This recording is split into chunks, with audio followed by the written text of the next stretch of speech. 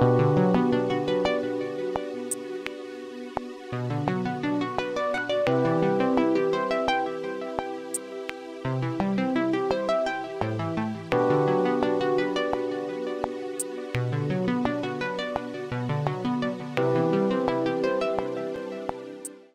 As human beings in the world, we have the unique capacity among all other living things to understand at a fundamental level exactly what it is that makes us up. Our bodies aren't just made of organs or even cells, but of atoms. Down at a scale 10 billion times smaller than a human being, negatively charged electrons orbit a positively charged nucleus, with nature giving us more than 90 different naturally occurring varieties. This is actually vital for us since different combinations of atoms can bind together in different ways, giving rise to a seemingly endless variety of chemical and biological permutations. But for all the different ways atoms come together in this world today, the possibilities were incredibly limited back in the early universe, shortly after the Big Bang. For the first few million years of the universe, hydrogen and helium were virtually all that existed as far as atoms went. So, where did the ingredients that we needed in order for our world to exist come from? To answer that, we need to head back in time to stars that formed many billions of years ago.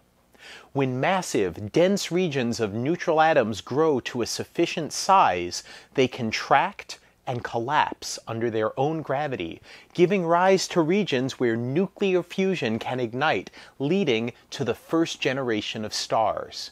Deep in their cores, hydrogen fuses into helium with heavier elements to follow, building up to higher and higher numbers in the periodic table in a series of chain reactions. While most of the stars will be small and long lived, the brightest, bluest stars will burn through their fuel incredibly quickly, hitting a limit where no more energy can be gained by burning elements like iron, nickel, and cobalt.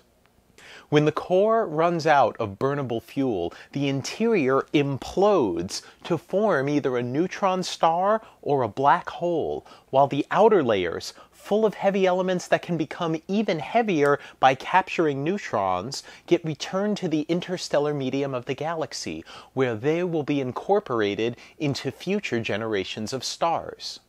Other, less massive stars get in on the action too by blowing off their outer layers as well, further adding large amounts of essential elements for life like carbon, nitrogen, and oxygen, while their interiors collapse down to a white dwarf star.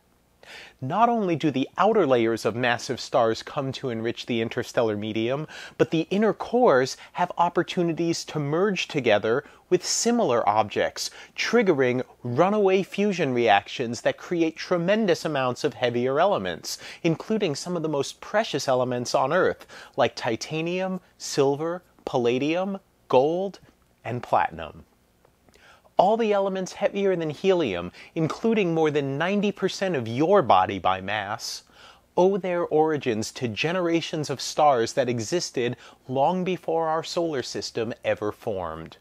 After billions of years of cosmic evolution, here we are today. It's amazing what the universe can do with just two ingredients the lightest elements of all, and time.